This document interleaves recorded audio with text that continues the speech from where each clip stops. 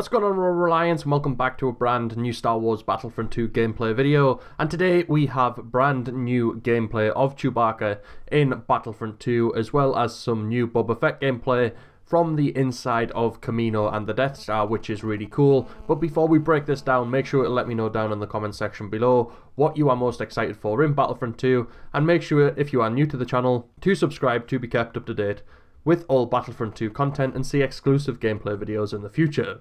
So we're going to start off with Chewbacca's three new abilities, which are Furious Bowcaster, Shock Grenade, and Charge Slam. We get to see all of these in action in this new Chewbacca gameplay, and it all looks really cool. It looks a lot better than in the first Battlefront game, which I'm glad to see. Shock Grenade looks pretty self-explanatory. You throw it at a group of enemies and it looks like it actually shocks them in place, to the point where they can't move or fire at you, so you can take them out pretty easy with Chewbacca. Next is Furious Bowcaster, which looks like it sort of allows Chewbacca to rapid fire his crossbow rather than firing one bolt at a time. It only lasts for what looks like a couple of seconds in this because he absolutely destroys one of the stormtroopers in front of him and then goes back to firing it normally. Whether that will be extended in the full game, we don't know, but it looks like a very quick, rapid firing bowcaster ability.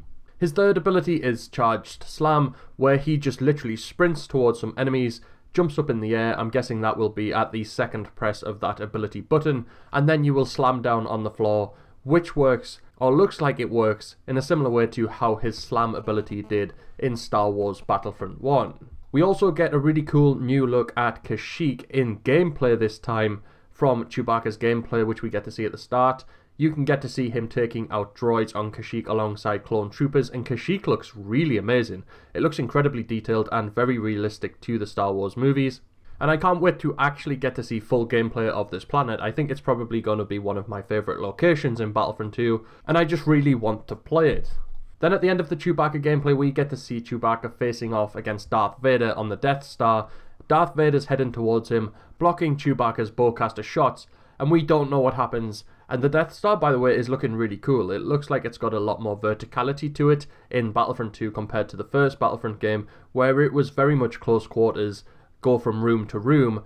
And in Battlefront 2, it looks like you're going to go from small rooms to large rooms, and then even these sort of vertical platforms, which is really cool. And I like the damage around Darth Vader at the back there as well. Like I said as well, we got some new Boba Fett gameplay, but we already know what Boba Fett's abilities are. We've seen plenty of gameplay of him previously thanks to EA Play and the beta, but the one cool thing to point out is that we get to see Boba Fett inside of Kamino, and Kamino is looking absolutely fantastic on the inside. And those Phase 1 clone troopers look so good as well, I can't wait to get to play as them. The only other cool interesting shot from the Boba Fett gameplay in my opinion is the end scene where we get to see him going head to head with Luke Skywalker on Mos Eisley, and Mos Eisley is looking like a very interesting map. We've seen it at night, sort of at dusk, and then during the day, so it looks like there's going to be varying map times in Battlefront 2, which is really cool to see. And I really like how there's dust floating around. It looks like a very alive map and exactly how you would expect Mos Eisley to be in a Star Wars game.